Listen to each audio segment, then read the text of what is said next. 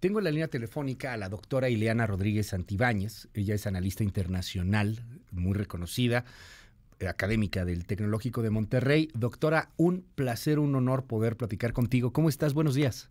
Oye, muy bien, el privilegio es todo mío, Luis. Qué gusto escucharte y, a tu auditorio. Oye, a ver, eh, complicadísima cada vez más la relación entre México y los Estados Unidos. Este gobierno, pues, ha tensado algunas cosas que, que, bueno, antes estaban un poco más tranquilas. ¿Por dónde quieres que comencemos? Porque lo que estamos viviendo en, en estos momentos, pues, a lo mejor sí empieza a encender algunas, algunas alarmas. De entrada, ¿cómo lees este envío de los 1.500 militares de Estados Unidos a la frontera mexicana para apoyar, dicen, a la patrulla fronteriza. ¿Están preocupados por migrantes, por fentanilo? ¿Cómo, cómo se toma esto? ¿Cómo se lee? Sí, yo creo que el fenómeno es multidimensional, el tema de violencia lo que se genera en torno a los migrantes, que sí definitivamente huyen de sus países por situaciones adversas, lo sabemos, económicas y de violencia, incluso de, de cambio ambiental, son nuevos tipos de migrantes, pero lo que hay que plantearnos es el tema de la seguridad. Nosotros estamos acostumbrados como ciudadanos y ciudadanas a la labor policial y ahí entonces hablamos de una seguridad del orden público. Y hemos observado cómo con la presencia militar, no solo por parte de Estados Unidos, sino también de México, toda, toda esta planeación de la fuerza que se le ha dado tan importante a la Sedena, por ejemplo, pues nos está hablando de un cambio en los paradigmas del tema de seguridad nacional que ya no solamente es blindar tus fronteras, sino incluso desde el interior tratar de tener mayor control. ¿Y qué tipo de control? Ya estamos transitando hacia un tema de seguridad humana, más que de orden público y de labor policial, sino donde también hay presencia militar tratando de reducir el grado de violencia, pero también tratando de atacar todo aquello que es en contra de los propios ciudadanos. Estamos viendo algo importante en la historia de la humanidad, nos quejamos mucho como ciudadanos de la labor policial que ejerce la Fuerza Armada y que esta crítica también es correcta. ¿Por qué? Porque finalmente son cuerpos distintos, adiestrados para temas distintos, donde si estamos viendo que la seguridad humana se está planteando como un reto de, de seguridad, también entonces estos cuerpos deberían ser entrenados para generar mayor seguridad a la población. La aportación de armas de alto calibre como que usa el ejército, comparadas a los bastones de seguridad que usa la propia policía a veces en tareas eh, de cuidado para los civiles, es muy distinta. Entonces, es preocupante ver esto. Eh, el presidente mexicano, evidentemente, ha manifestado que, bueno, que Estados Unidos lo hace en atención a su propia soberanía, lo cual por supuesto es correcto y no tendríamos cara para criticar si consideramos que del lado de la frontera sur nosotros estamos poniendo más de 26 mil soldados a custodiar esa otra frontera.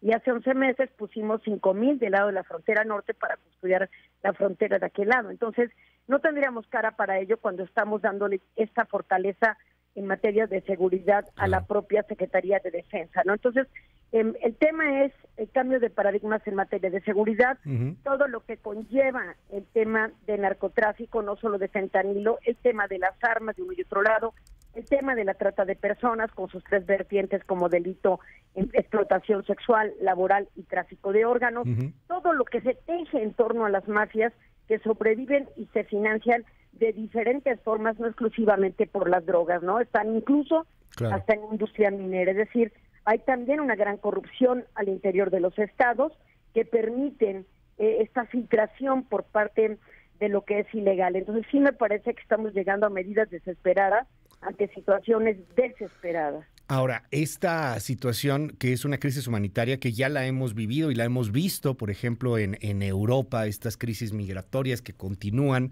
estos seres humanos tratando de sobrevivir, que se avientan al, al, mar, literalmente, muchos de ellos terminan perdidos para solicitar algún asilo, pues en México lo estamos viviendo, estamos viendo cómo va mucha gente huyendo de la violencia, de la miseria, de, de del cambio climático, inclusive, eh, en, todo, en todo nuestro país, ¿no? Y no solamente mexicanos, sino bueno, pues, de muchos lados para tratar de llegar hacia los Estados Unidos. Pero nosotros pues estamos en un, en un momento muy, muy particular. O sea, este tercer país seguro que no es tercer país seguro, eh, los, los eh, recibimos de nueva cuenta, pero los metemos en centros de detención migratoria. Pasó lo que pasó allá en Chihuahua con esta tragedia de 40 seres humanos incendiados. Eh, ¿qué, tendríamos que hacer en ese sentido? Porque pues parece que nada más estamos eh, tratando de, de evitar que la confrontación con los Estados Unidos pueda crecer en ese tema en particular, pero en otros sí nos vamos con todo, ¿no? En otros asuntos políticos sí nos vamos con todo, o inclusive en asuntos comerciales, pues estiramos demasiado la liga. ¿Qué podríamos hacer en México? ¿Cómo ves la política en particular de recibirlos y de, y de tenerlos aquí en nuestro país, de en algunas ocasiones pues meterlos a estas cárceles migratorias? Eh, esa es la gran contradicción, ¿no? Por una parte México que siempre ha tenido una historia correcta en el sentido de brazos abiertos a grupos migratorios y así han crecido diversas instituciones, por ejemplo, como la UAM con el éxodo durante la dictadura de Pinochet. Esa universidad em, se abrió gracias a todas las mentes brillantes que venían de Chile y se pudo generar esta gran universidad. Es decir, han habido muy, muy buenos ejemplos por parte de México, pero también esta gran contradicción de que eh, hay un crecimiento desbordado. En Estados Unidos, por ejemplo, en el año 2022 básicamente se cifraron eh, más de 2.7 millones de migrantes indocumentados, mientras que en México se pudo detectar que incrementó 43% el flujo migratorio de carácter irregular. Entonces, esto nos lleva a replantearnos efectivamente qué se va a hacer en estos centros de detención que están funcionando literalmente como si fueran cárceles, donde no tienen condiciones humanas para su desarrollo. Simplemente veamos hoy día Tijuana, la situación desesperante que hay de no tener agua ni siquiera para las mínimas tareas indispensables como son la alimentación y temas eh, sanitarios, ir al baño, por ejemplo. Son las organizaciones no gubernamentales de ambos lados de la frontera las que están suministrando pipas de agua y los estados están reflexionando si les hacen citas en el tema del pago de agua a las ONGs. No es la tarea de las ONGs, que altruistamente lo hacen, es deber del Estado tratar de buscar los mecanismos para que esta migración irregular regrese a sus estados de origen o haga la espera que aún subsiste bajo el título 42 que quitan el 11 de mayo, donde se esperan éxodos masivos de migrantes mucho mayores a los que hemos visto, porque parece que quitar el título 42 es un gran anuncio de vengan a Estados Unidos contradiciendo precisamente aquel dicho de Kamala Harris de así de serio, no vengas porque no tenemos a recibir, si te acuerdas esta parte, ¿no? Sí, claro. Em, pero también vemos, por otra parte, Alejandro Mallorca, quien dirige todo el tema de seguridad interior, diciendo ayer, ok, quitamos el título 42, pero recuérdense que queda vigente el título octavo de nuestras leyes migratorias, que te dice que si te detectan que ingresas de manera irregular, van a ser en, en prácticamente en un proceso abreviado tu retorno a tu territorio. Mientras que si detectamos que eres reincidente en el intento de cruce, te vamos a criminalizar y te vas a ir a la cárcel en Estados Unidos.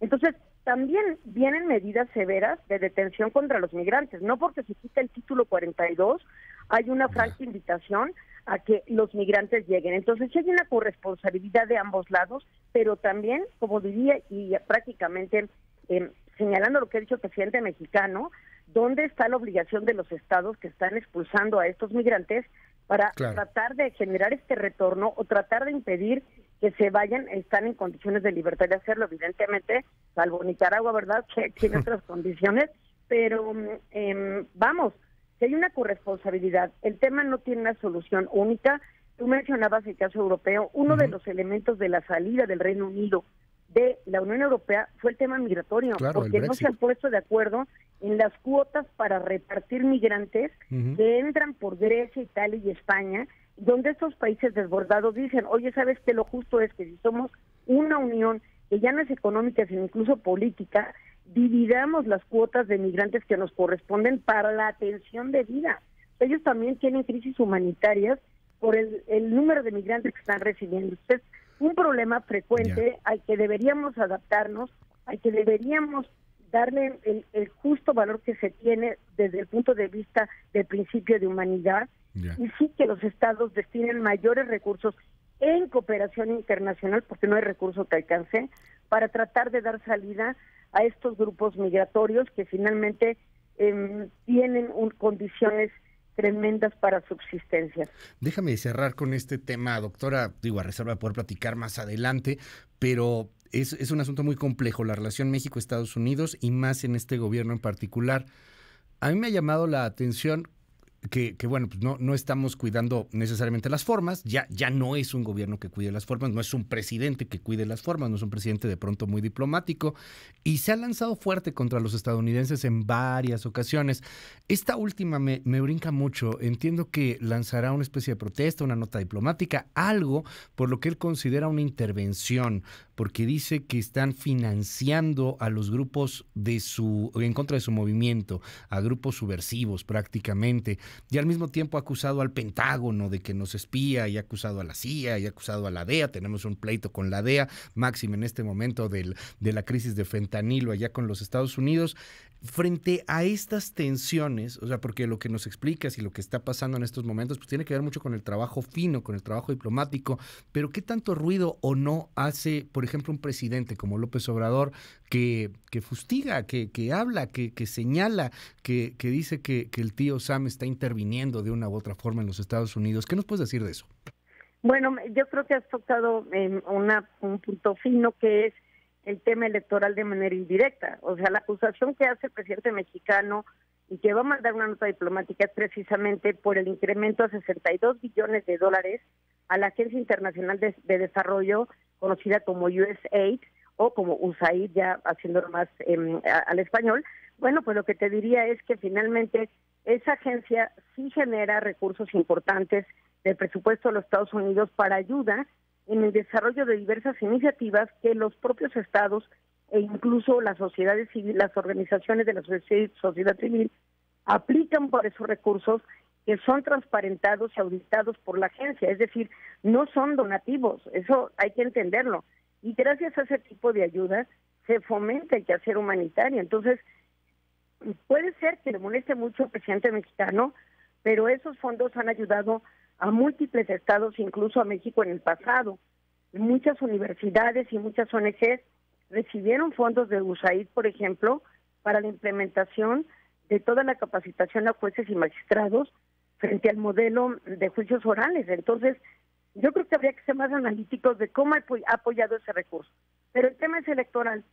Hace más de cinco semanas, recordemos que Marcelo Ebrard, canciller, estuvo en los Estados Unidos convocando a la red consular más grande del mundo, que es la de México en Estados Unidos, para llevar a cabo una campaña en contra de todos aquellos republicanos del Partido Republicano que se opongan o que estén fomentando señalar como terroristas a los grupos criminales de México que podría llevar un escenario de mayor injerencia de Estados Unidos en nuestro territorio.